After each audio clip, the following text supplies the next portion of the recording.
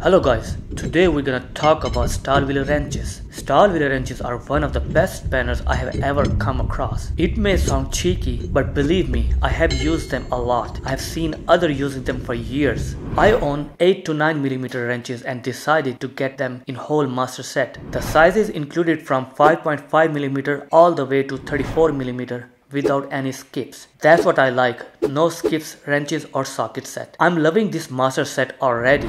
Let's pick up some random spanner. This is 13mm wrench. Now here is the odd situation. These are regular size wrenches and the product code is 13. This particular wrench is 13mm. Look at the size difference of the numbers. On the open end side, the number 13 is bit bigger than the bottom one on the box end side. This is really confusing big time. Now look at the 14mm wrench. If you look onto the box end side at the number 13, it gives wrong impression of size number. For me, I'm used to it, but for the new user, it will get pretty confusing. Even though I'm used to it, but sometimes I also get annoyed. Like this Hazet wrench, the size numbers are on the both end, making it more easy visible.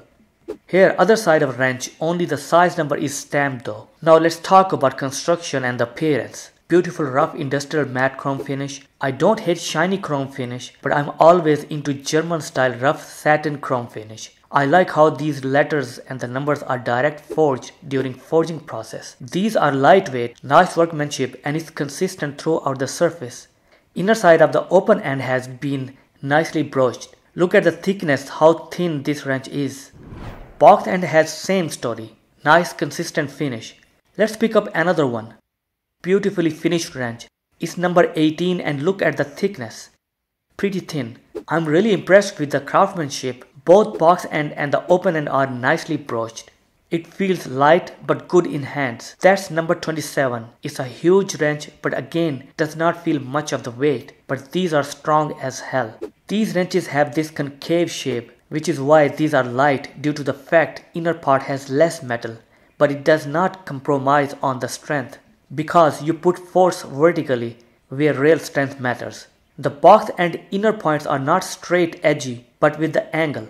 These wrenches call AS by Stahlwille. AS stand for anti-slip. If you look closer to the box end, it has round grooves which avoids force on the edges of the fastener but put more force on the center of the fastener.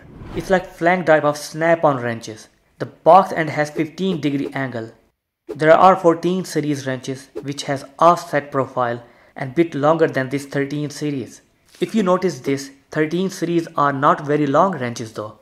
These are pretty compact and sometimes we need short wrenches. So what I did was, I grabbed set of double box Stahlwille wrenches plus this 13 series of shorter profile for tight areas and then I wanted some spanners from Hazet and bought extra long Hazet spanner which by the way are pretty long. Now I have a longer version, shorter slash regular length version and offset double box and wrenches. This 34mm wrench has the number on open end side and stamped instead of forged unlike rest of the ranches. Don't know why and it's not very visible.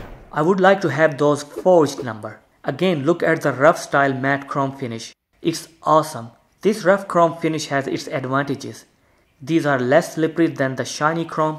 Usually, American brands are shiny chromed and those look nice too. But top 3 German brands such as Hazet, Gedore and of course Stahlwille all have rough matte chrome finish.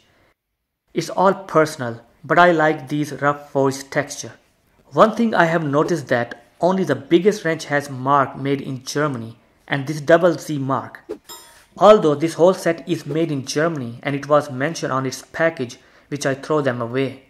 The open end side have no grooves or ridges like some of the other brands such as flank drive of Snap-on, Mac, Facom etc. This plain surface can have its advantages and disadvantages. If you are working on custom cars where you don't want to mark on custom shiny chrome fasteners, then flank drive type of wrenches are not recommended. But wrenches with ridges on the open surface do grab the rusty fastener better but sometimes they chew up the edges of the fasteners making them more vulnerable for the future use. Let's check the smallest size. It's 5.5mm. No matter what size the wrench is, the workmanship and the texture detail are the same and consistent as the other bigger sizes. I like these wrenches so much and even I start collecting missing bigger sizes. Here I got 38mm. I don't know about automotive usage of this size, but my wheel bearing forcing screw has 38mm size. This is a massive wrench. I love these. This foam insert is also nice for keeping the wrenches organized and you have noticed that it's not wasting so much space. Here I got Stahlwille ratchet to compare the surface finish. Look at the texture and the chrome job on both. Exact same, which tells the workmanship consistency. Stahlwille has its own trademark finish. Here I have got Hazet extra long wrench just to give a brief comparison. I love these Hazet wrenches too. Hazet has its own texture and chrome style. Look at the length, both are 19mm. Hazet one is thicker and heavier for obvious reason for the long reach length. It has to be beefier due to the leverage this wrench can produce. Here you can see the difference in thickness, not much. Stahlwille is slightly thinner. I have used Hazet wrenches a lot too. They are robust also. Both made in Germany and can't go wrong with any of them. Stahlwille wrenches are not cheap, but you can get them on deal. Just need to wait for the deal and grab that when it comes. I bought these wrenches off Amazon and I will also put the link into the description if you guys want to check them out. Stahlwille is a premier brand of Europe. Now I show you some interesting facts. Look at the price.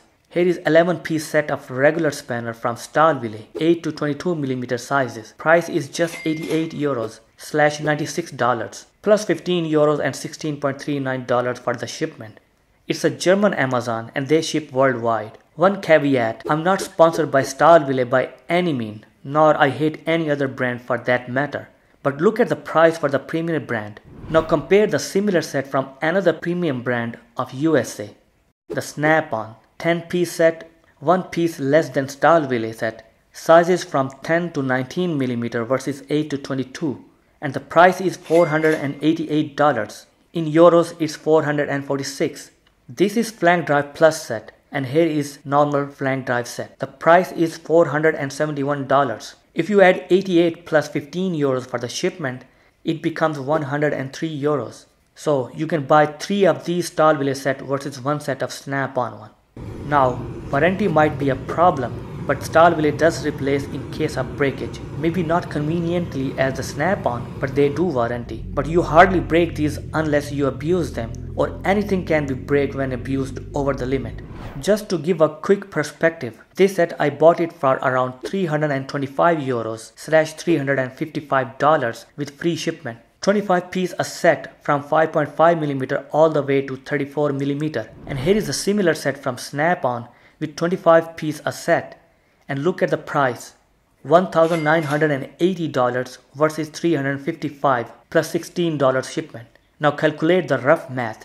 You can get 5 of these Stahlwille set versus one set of Snap-on. That's insane.